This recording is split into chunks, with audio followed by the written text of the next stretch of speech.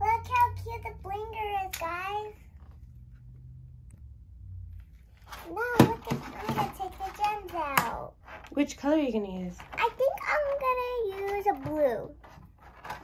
Let's put it in. Okay, Jess fans. So, we are going to bling out Jazleen's braid.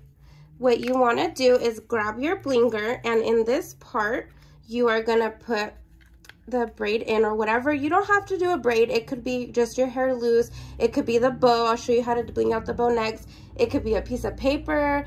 Anything that you want can be blinged out. And also, if you don't want to um, put something in and say you want to bling out something flat, like something that doesn't fit, for example, the chair, you can just do it this way and push and see we have blinged out the chair so you can bling out basically anything that you want isn't that cool Jazleen? Yeah. okay now let's bling out Jazleen's braid so we're gonna put it in here make sure you see that piece of hair and you can tell we already blinged a piece out earlier we were practicing so you put it in there squeeze it and it's blinged out that is so pretty Lara, let's even her hair out. So we're going to do it again.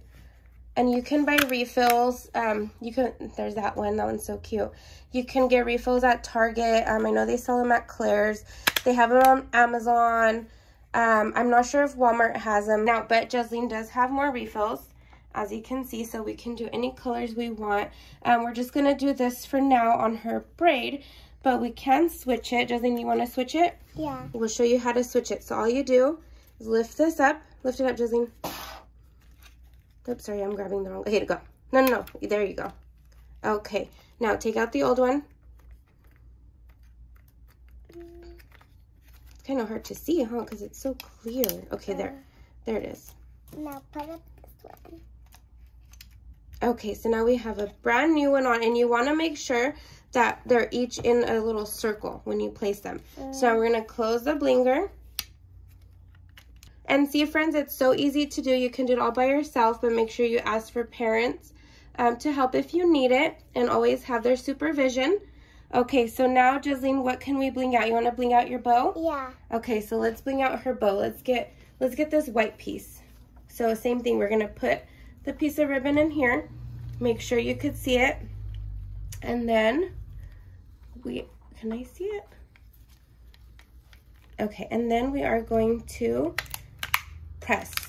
And we have a heart on Jazleen's bow. Guys, I hope you like this. I hope you like this bling and make sure you find it at Target. I hope you like this video and subscribe to my channel. Bye friends.